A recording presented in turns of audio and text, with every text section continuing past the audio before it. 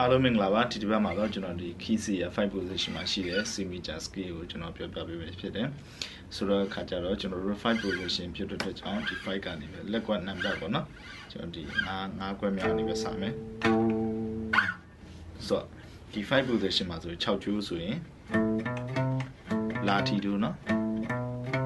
ဆိုတော့9ပြီးတော့9ပြီး10ပြီးတော့9ကျိုးမှာ ရေမီဖာ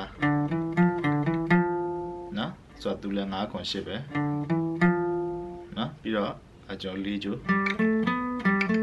သူကြတော့9ခွန်9နော်ဆိုလာထီနော်ပြီးရင်ကျွန်တော်တို့3ကျိုး3ကျိုးကြတော့ကျွန်တော်တို့ကအာ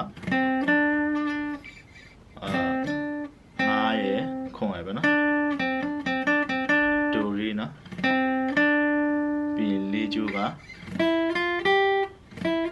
မီဖာဆိုနော်9 6 8ပြီး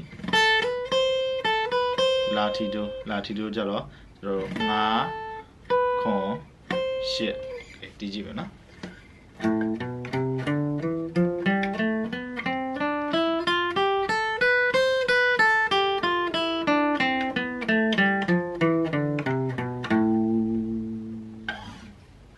ဟုတ်ပြီနော်အဲ့ဒါဆိုလို့ရှိရင်ကျွန်တော်တို့အဲဒီဒီဘက်ကတော့ကျွန်တော်ဒီအခုဒီ key C ရဲ့ဒီ5 position မှာရှိတဲ့ signature scale ကိုတင်သွားပေးတာဖြစ်တယ်ဆိုတော့အာမြန်ဖို့မလိုပါဘူးကျွန်တော်အများအားပြောသလိုနည်းနည်းလေးနဲ့ပုံမှန်လေးပဲကျွန်တော်တို့ကျင့်ဖို့ပဲရည်ကြီးတယ်နော်ဆိုတော့အကယ်၍ဒီသင်ခန်းစာနဲ့ပတ်သက်လို့ကျွန်တော်တို့မရှင်းတာရှိတယ်ဆိုရင်ဒီဗီဒီယိုရဲ့ comment မှာလာပြီးတော့မေးလို့ရပါတယ်အားလုံးကျေးဇူးတင်ပါတယ်